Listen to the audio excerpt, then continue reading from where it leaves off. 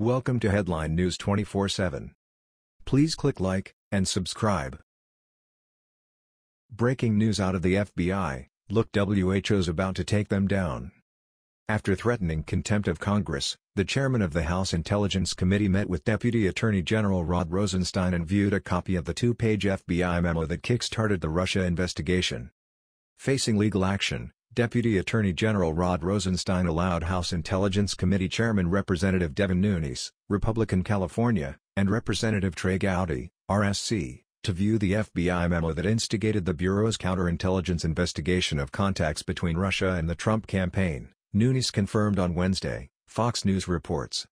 The meeting came a day after Nunes threatened to take legal action, including contempt proceedings and impeachment, against Rosenstein and FBI Director Christopher Wray for failing to produce a clean copy of the memo, known as an Electronic Communication or EC, that was responsive to an August 2017 committee subpoena.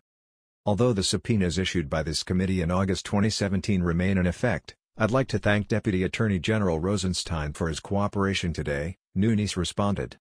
When asked on Fox News The Ingraham Angle Tuesday if he would hold the officials in contempt of Congress, Nunes said, We're not going to just hold in contempt. We will have a plan to hold in contempt and to impeach, we're not messing around here. A government source told Fox News that Nunes, Gowdy and committee Republican staff were able to view the two-page memo with relatively few redactions. The source described those redactions as minimal and justified.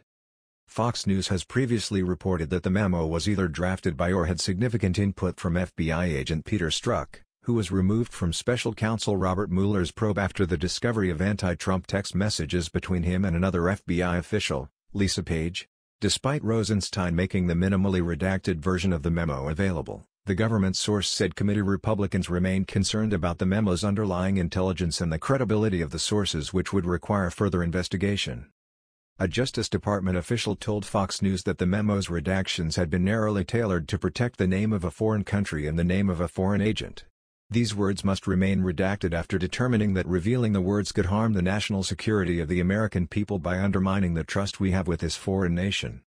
The official added that the words appear only a limited number of times, and do no, sick, obstruct the underlying meaning of the document. With this production, in conjunction with the 1,000 pages of classified materials, much of which is now being provided to entire House Intelligence Committee membership, we believe we have substantially satisfied Chairman Nunes' August subpoena in an appropriate fashion, said the official. The department will be pleased to continue to work with the committee on other, related requests for information. Hell yeah. That's how to take care of business. The Republicans need to play hard. Play dirty and go after these bastards with unrelenting aggressiveness. Liberals are snowflakes. Let's kick some conservative ass and show these punks who's in charge. That was the news. We thought you might be interested in knowing about this. Please click like and subscribe. Thank you.